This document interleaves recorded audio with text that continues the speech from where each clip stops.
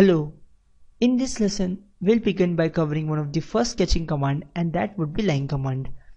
But before I can do that, I must get into a sketching environment.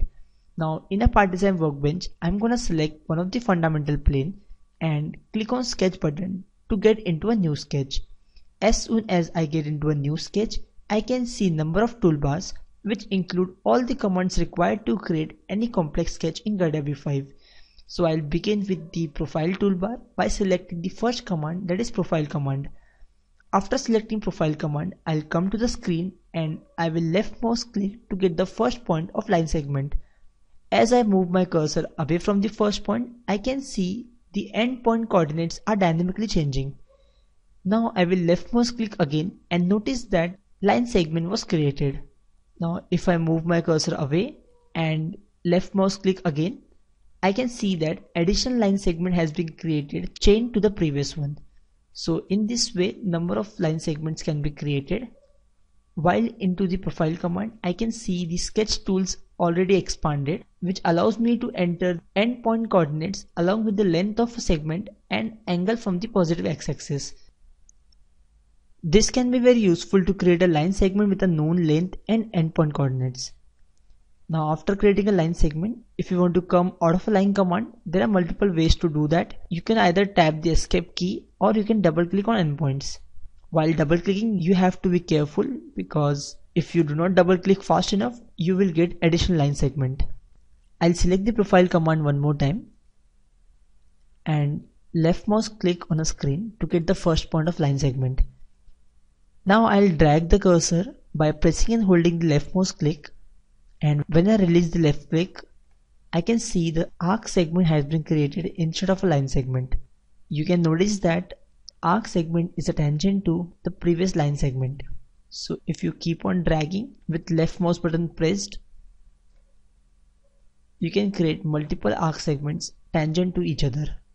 Again double click to get out of the line command. So profile command can not only be used for a straight line segment it can also be used for arc segments.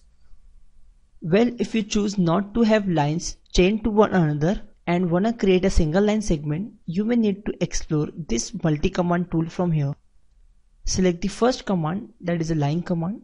Go to screen and left mouse click to get the first point. Move your cursor away and left mouse click again to get the end point of single line segment. You can also create an infinite line by selecting infinite line command which allows you to create infinite line passing through two points. Third option is bitangent line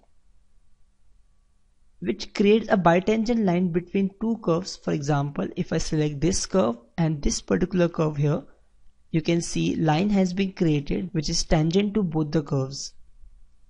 Next option is of bisecting lines which allows you to create a line which is bisecting to two lines intersecting each other. So if I select this line and this line, you can see a bisecting line has been drawn between these two lines. Last option would be to draw a normal to the curve. So if you select the curve at particular point, you can see a line has been drawn which is normal to the curve at that point. So in this way, different line segments can be created in CATIA V5. To delete these lines, you can either select individual lines or you can select multiple lines by pressing ctrl key.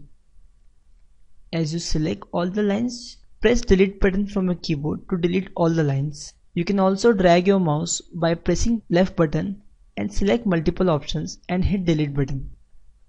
So this is all about line commands in CATIA V5. From next lecture onwards, we will explore more tools like rectangle and circle. Till then, thank you very much. Stay tuned.